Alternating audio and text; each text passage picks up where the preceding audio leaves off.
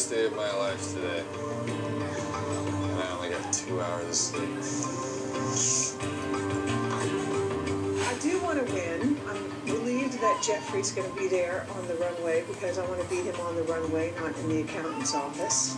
You ready, guys? I'm ready. Sure? Yes. Uh-huh. What I'm ready. Of course I'm ready. I've waited a lifetime for what this. if, what if I'm not?